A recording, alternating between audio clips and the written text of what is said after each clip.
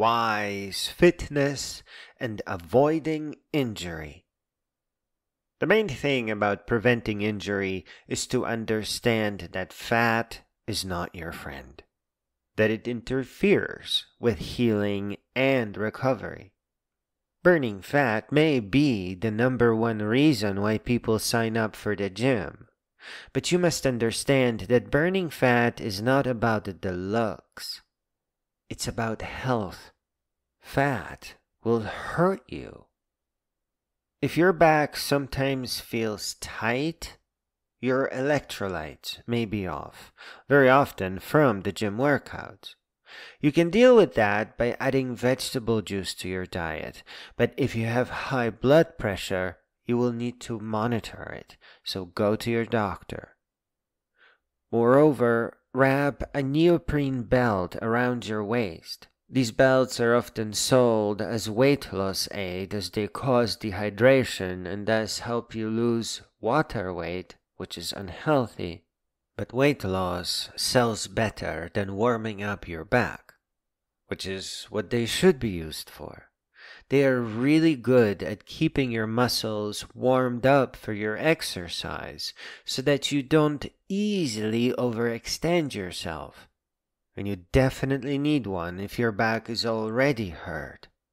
Be sure to keep your back nice and warm and pay attention to those electrolytes.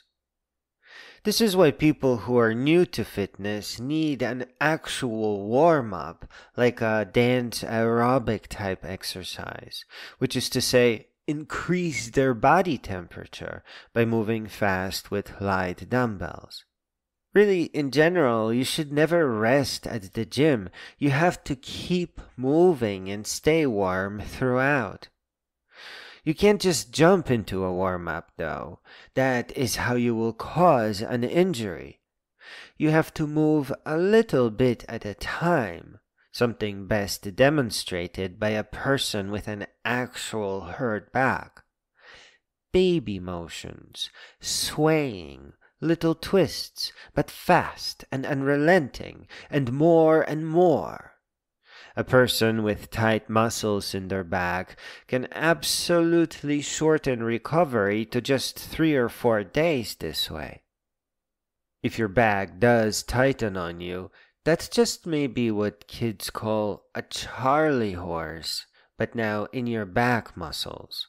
So, electrolytes, keeping your muscles warm, and showing up at the gym every day to do what looks like a baby workout is of utmost importance. And if you think this is ridiculous because you can't even get out of bed in the morning, try to ease yourself into a chair first. Straighten out your back and move a little bit back and forth. Begin your micro workout in the chair. Slowly uncoil your muscles. Don't just lay in bed. It may be that your bed is actually causing the injury. I sleep in a $150 bed that has a lifted back and legs. I get the idea from hospitals. If hospitals use those types of beds, those beds will never add to any injury. I think a lot of people have a hurt back because their bed is flat.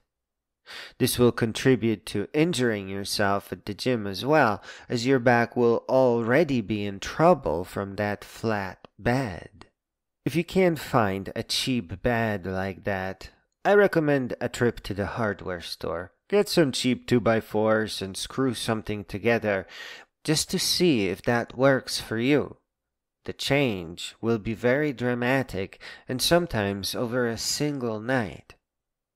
Once you find your angle, you will not need to adjust your bed. And to get an idea of what you are doing, look at a picture of a hospital bed to figure out how to arrange all the 2x4s. Make the first version super ugly. This will teach you what you need to do to get it right the second time. And at the gym, oh, you really have no choice but to lift light a lot. Not so light that you could lift heavier, but not so heavy that you can't lift for an hour straight with very little rest. If you have to stop, that is a dumbbell that you are not yet ready for. Lifting heavy sets, reps, and long rest is probably a myth created by documentaries where bodybuilders are just showing off. And anyway, you become more flexible, more fit, more muscular, and without risking any injury by basically dancing with dumbbells. You don't even need to use the machines. You just grab onto the dumbbells and lift them above your head and to the sides and curl for biceps. By hitting every beat of your initially slow songs without the distraction of switching machines, you enter a dance trance where hours at the gym feel like minutes. And by observing how joggers work their way up to eventually run without stopping, you can learn to lift non-stop. You can also find a free interval timer app or just get a clip on. To use it right, you have to focus on eliminating those rest periods, always making them a few seconds shorter.